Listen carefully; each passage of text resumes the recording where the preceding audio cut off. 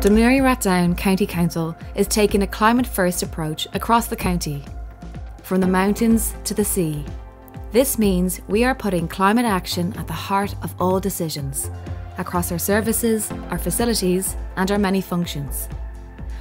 We want to lead the way for other sectors and for the people of Dún Laoghaire-Rathdown to make a difference.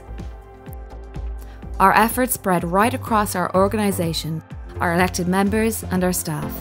For example, we're really proud that one of our social housing schemes was the first and the largest scheme in Ireland to be awarded the prestigious EnerPhit certification.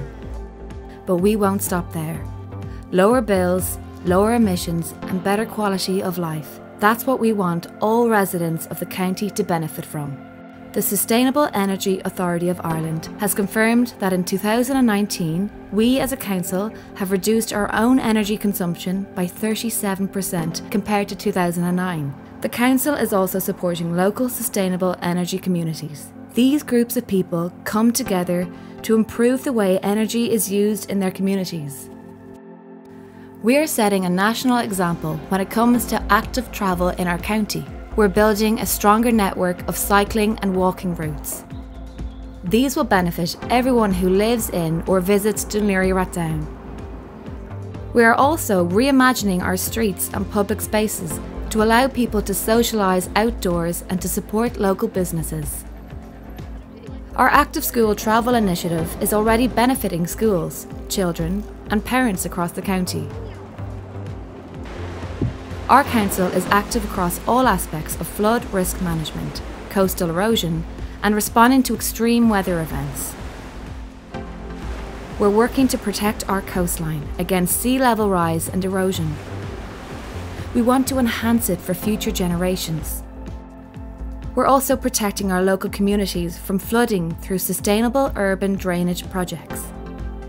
We know how important biodiversity is in tackling climate change that's why we are focused on enhancing our parks and open spaces.